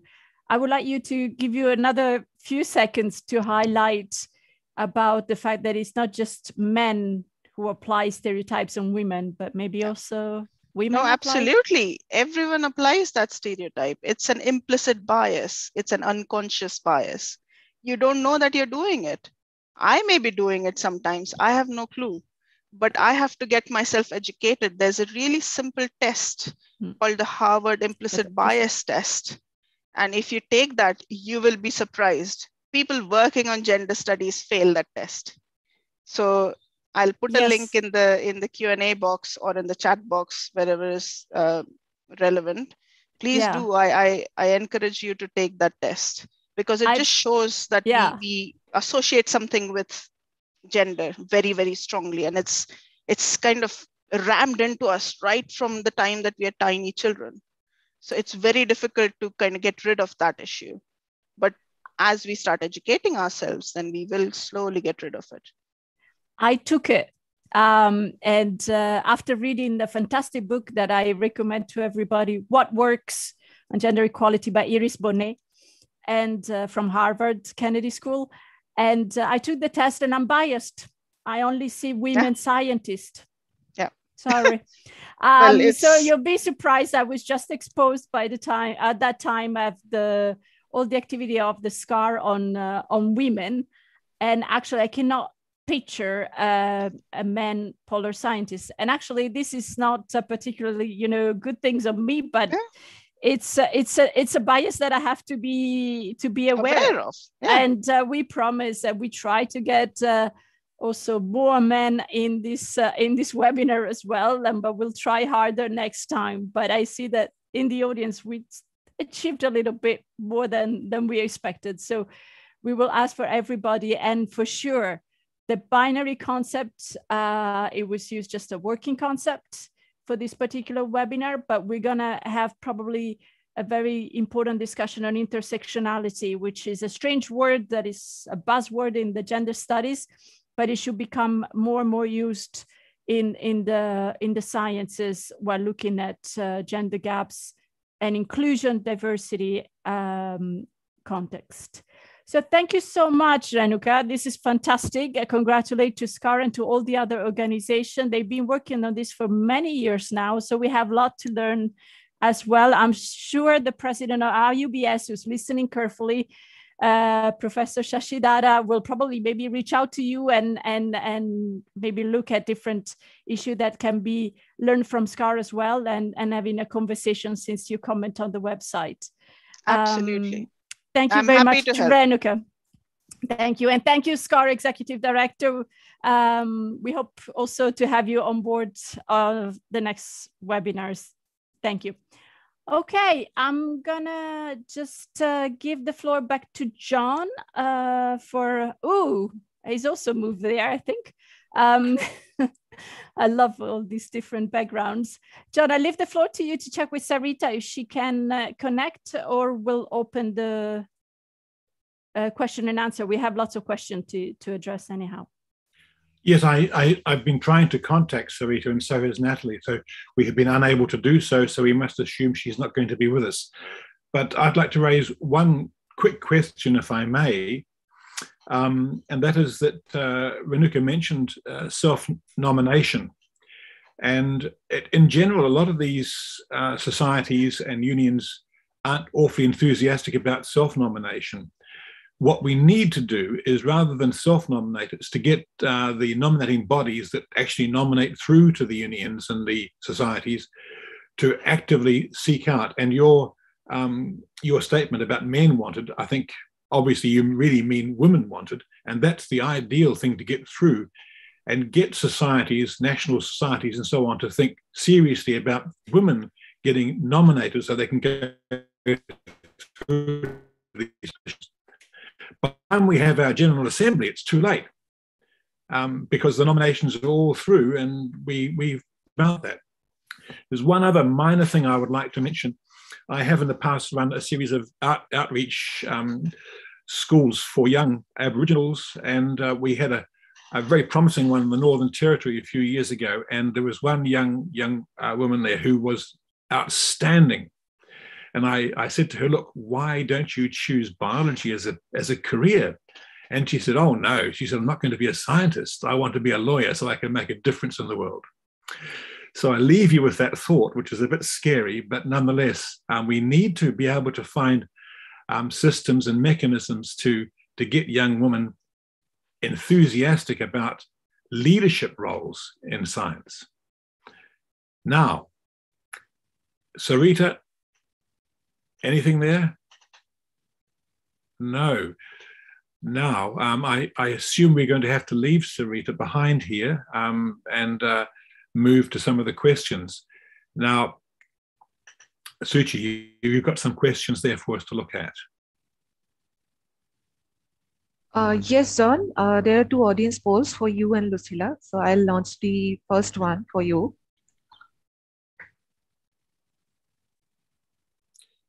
So, do you think a quota system in international committees and boards is appropriate?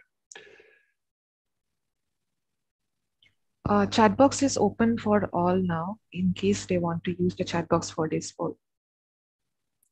Now they can fill it in straight with that um, poll, can't they? As as per normal. Yeah, good. Yes. it's a pity we can't vote. Okay, so she, we should probably have had enough time for people to make their decisions there. Can we have? My goodness. Um, so there's a pretty strong, two thirds almost, um, agreement that a, a, quota system is useful.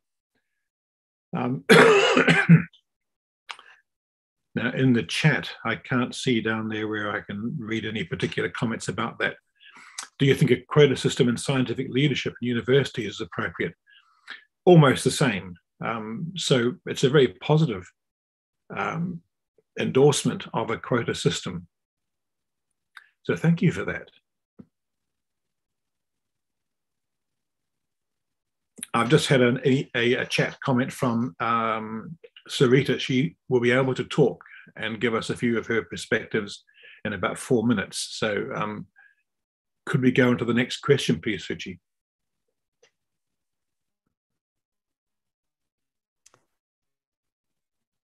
Yes, the next poll is about. So this is the, the main gender gap we addressed. Yes. For it, um, it's, it's about, thank you.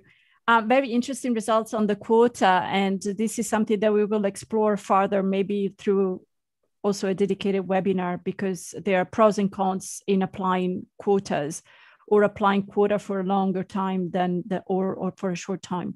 But here, really, we would like to, to know, as we mentioned at the beginning, uh, what are the main gender gaps? I like the S, sorry, to be addressed and discussed by the IUBS webinar series on gender gaps in biological sciences. Um, and here you could, uh, sorry, it, it, give him, it gives me the things in my own language, but uh, funny. Uh, but you could choose salary, promotion, publication, funding, committee membership, or other. If you want to put other ideas, feel free to use the chat as before.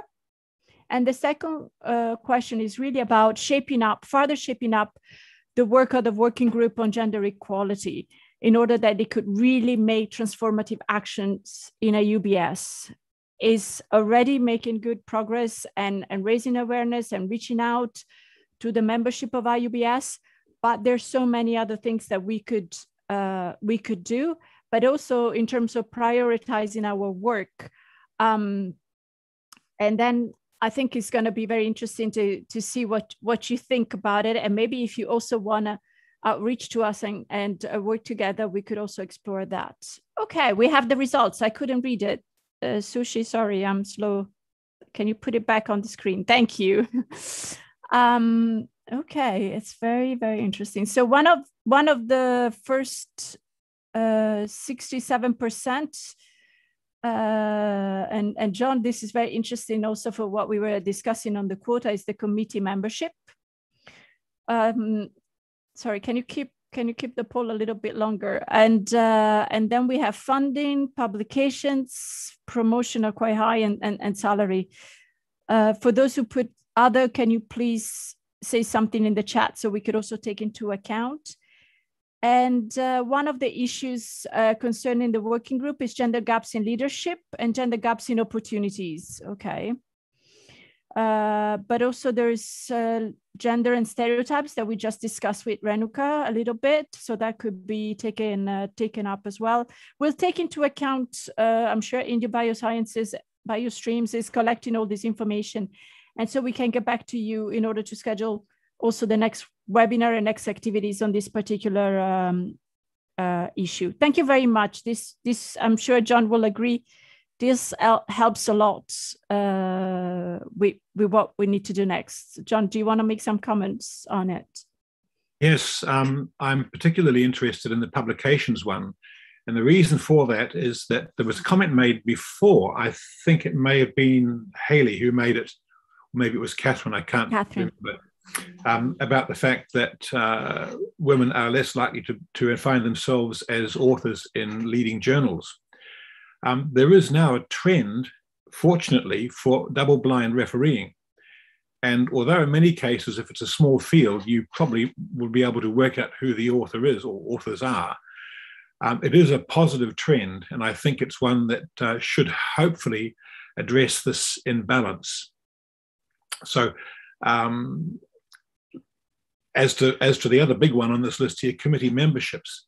I think we need to strongly lobby our national societies and international societies that feed through to the unions just to reinforce how much we really want uh, women to be represented at the highest possible levels. The message isn't getting across, and uh, it's it's got to be from both men and women. Um, and if we push hard enough, it will change, but it does need to change and soon. Um, Sarita, are you there yet? John, I'm here. I'm Ah. just transferring what I have to speak on from an um, some interviews I did earlier this year with South Africans just about the problems that they're experiencing.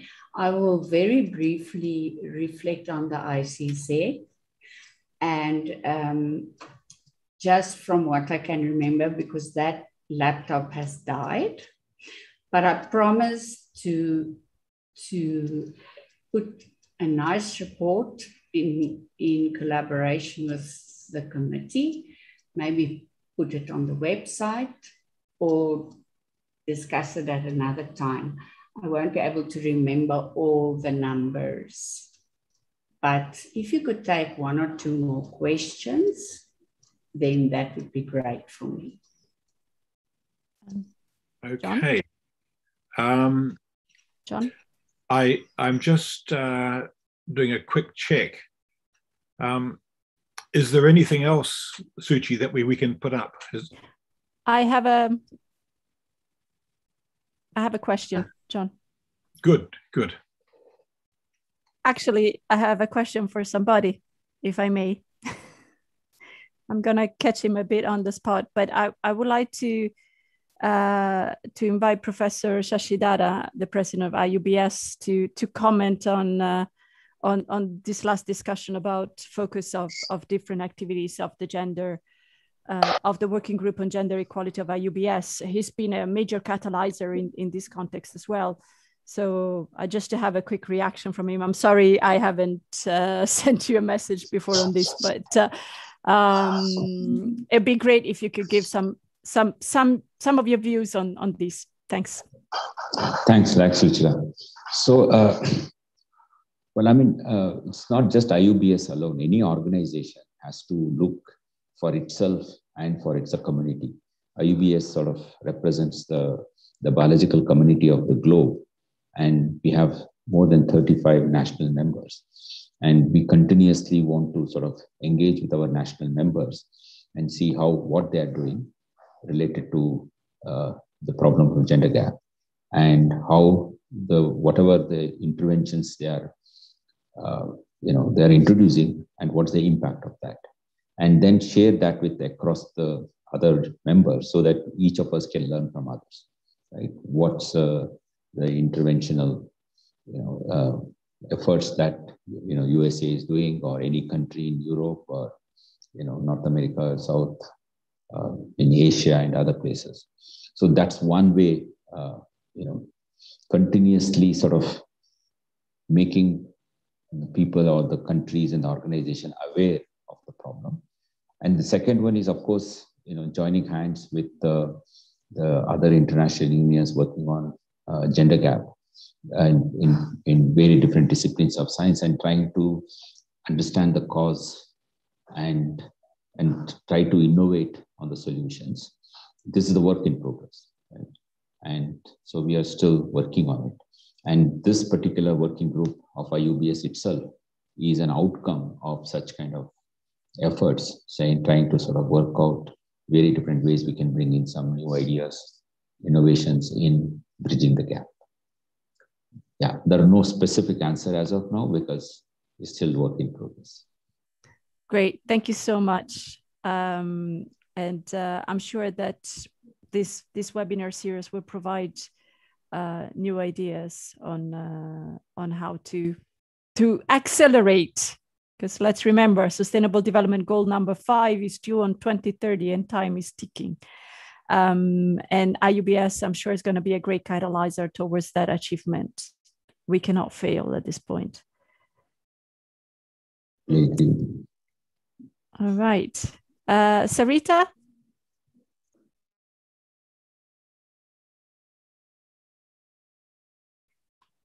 it seems we've got a problem again. Yeah, uh, it's a, such a shame. Um, but let's maybe we could uh, look at other questions. Um, Suchi, do we have we have another question there, don't we? I think. Um, uh, no. No, John. Poll questions are over, uh, but you can take questions from the Q and A box now and maybe we can invite all the speakers to turn on their videos and to join the question answer session. While we're waiting for that to happen, I, I'm just in a sort of um, a quirk of humor, perhaps. I, I, I wonder about the concept of the scientist. Um, a lot of young children seem to think that scientists are mad, and um, maybe that's that's not what we want to, to encourage kids to think but uh, mad scientists about to destroy the world is um, often what you, you see based upon the sort of cartoons that children see.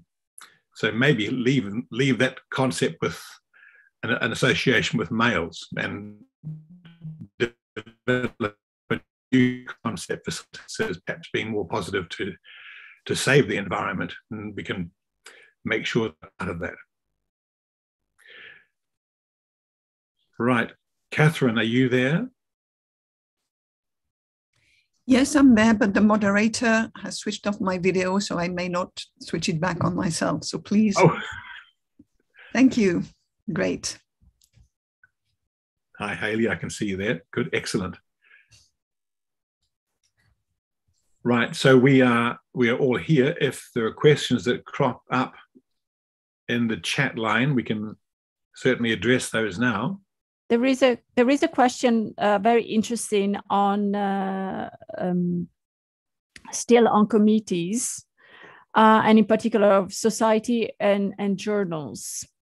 So uh, how does a society or journal recruit more women to the executive committee and journal editorial boards when the highest level of women are overstretched and overcommitment overcommitted?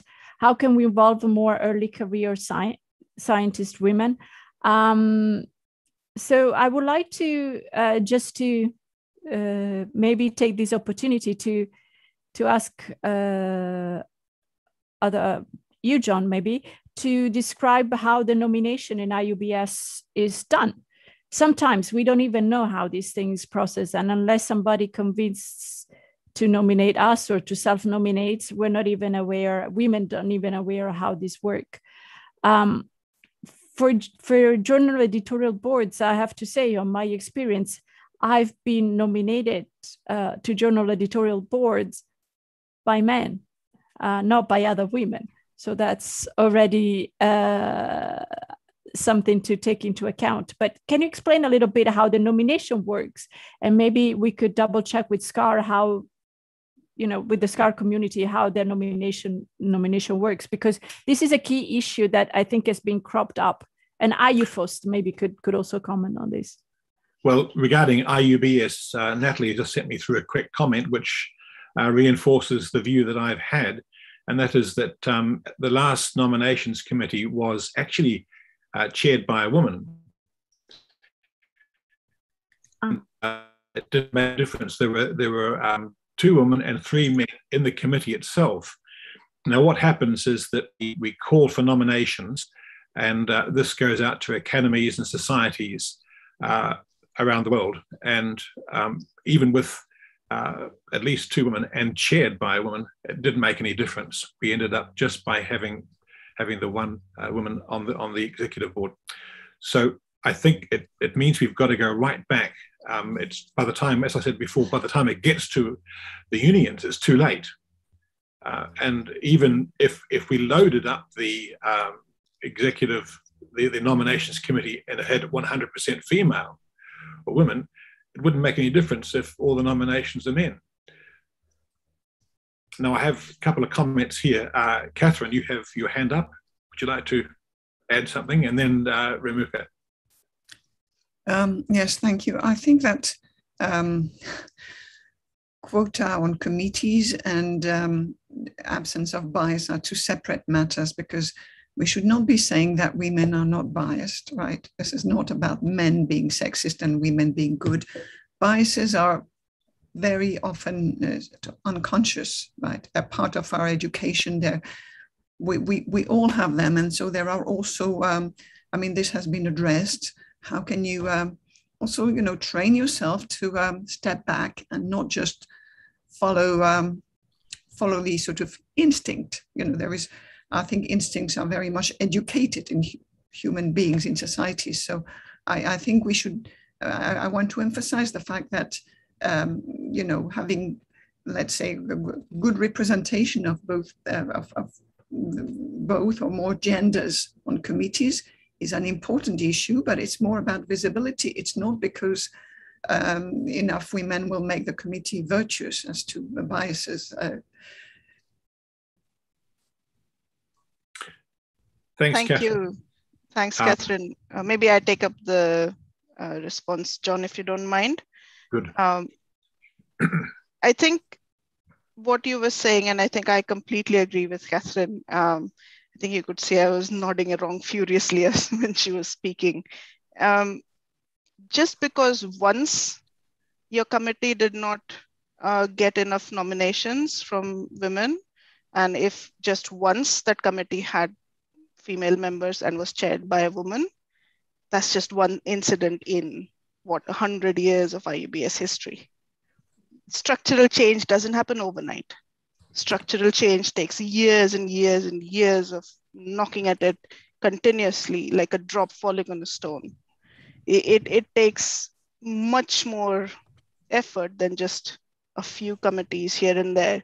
You have to attack the situation with, you know, making sure information is available to everyone, that information is palatable and readable for everyone, making sure that that kind of information is maybe available in different languages if you want to really ensure geographical diversity, making sure that your um, your committee is aware of implicit bias, of unconscious bias when they're making decisions, making sure that you have a nomination committee that supports nomination of people from different places.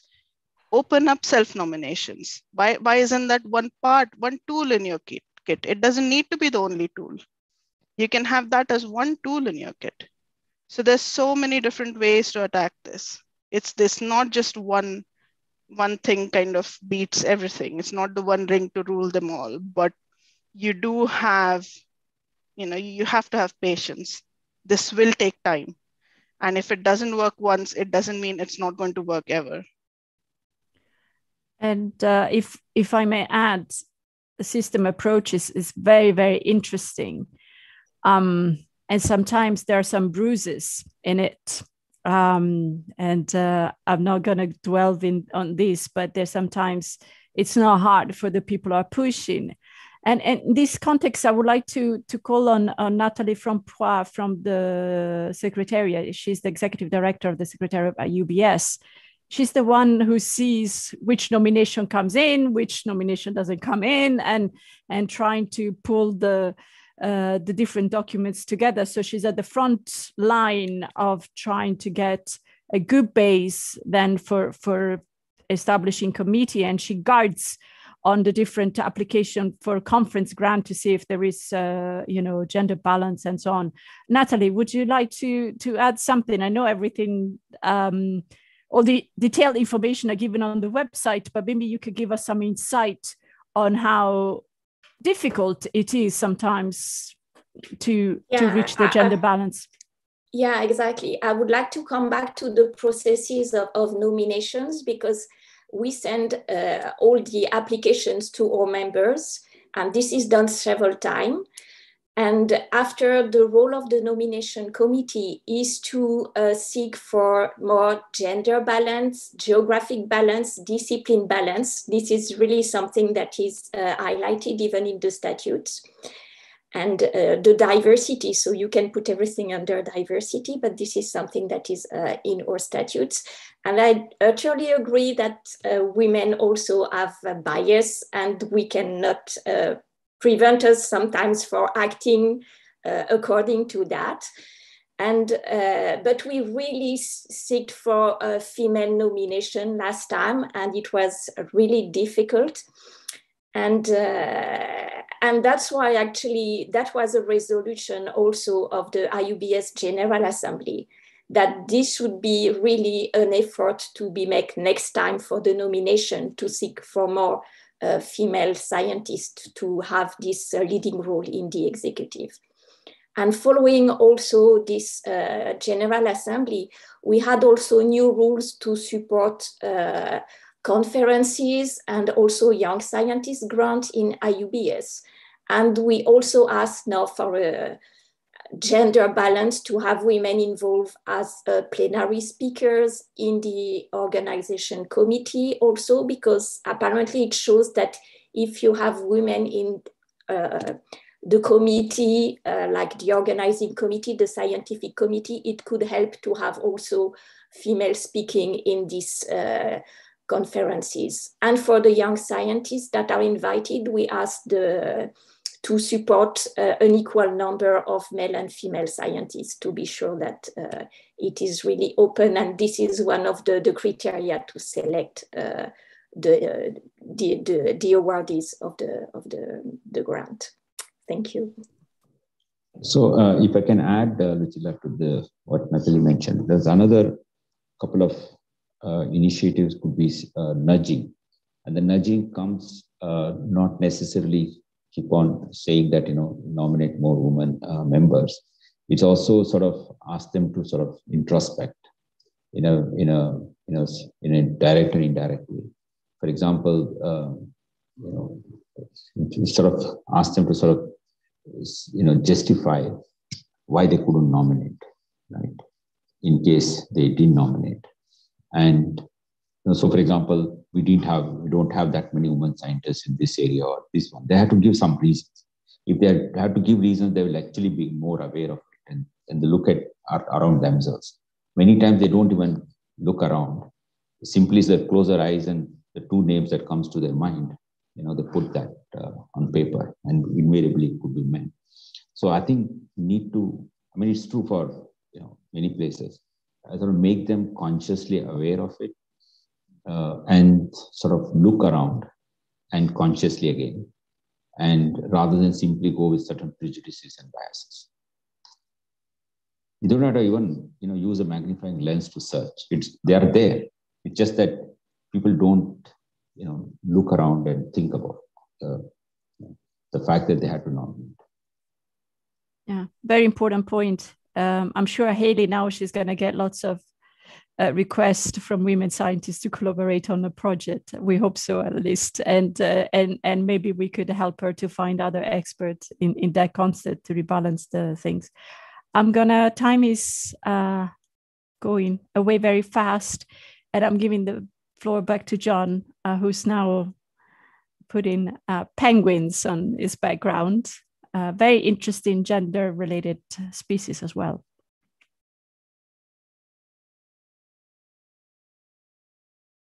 Uh, your audio is off, uh, John. You were on mute. John, the microphone. I fixed Thanks. it. Yeah. The reason why the penguins are there is because Lucia said that she hadn't or she couldn't imagine a male or gentleman or male or man working in the Antarctic. So there we are. Um, I'd like to thank at this stage, first of all, and in one sense, we are children of the pandemic because we've survived and we've learned how to use this remarkable system. Uh, two or three years ago, this probably would never have happened, but now we seem to have come of age and we know how to use these systems, these wonderful systems. And I'm always in awe of how remarkable they are that we can talk all around the world and have these get togethers like this. I must also say that it actually is quite nice that I know many of the people personally that I'm talking to, and that, that helps a lot as well. Um, I'd like to take this opportunity to thank you all for participating. It's a privilege for us to have you with us. But I'd also like to thank in particular Lucia um, for Hayley, for Catherine and Renuka, and belatedly Sarita for giving presentations and finding their, their time to do so. But this wouldn't have been possible if we didn't have the support from people like Suchi and Shantala. And I'm sure there are people behind the scenes that we don't know about who have made this whole thing happen as well. So we sincerely thank them. So at the end of this here, um, we will be running further webinars. And the shape of these webinars will be determined by what you tell us you want. And um, as a consequence, please do not finish your relationship with IUBS webinars at this particular point. Do keep sending us material and, and ideas and concepts, and we will make sure that we are able to address these and have these in future webinars. This is a great start. Let's hope that it is the beginning of a, of a new realm where we are looking at far greater women participation in the higher echelons of science. Once more, thank you very much indeed. It's been a privilege being a part of this, and you've all been absolutely wonderful. Thank you.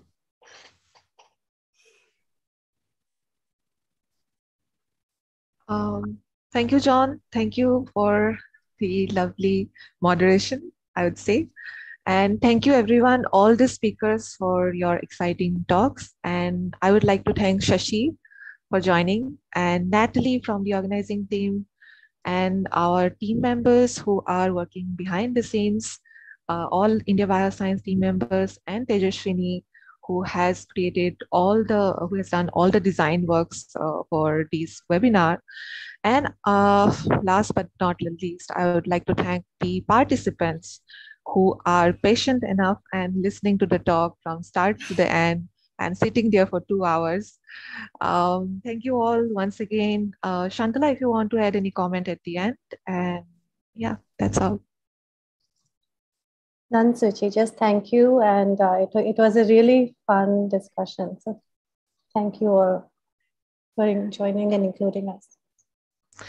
And please submit your feedback. Uh, here is the link. It's there. And also, once the webinar is over, it will lead you to the feedback uh, page.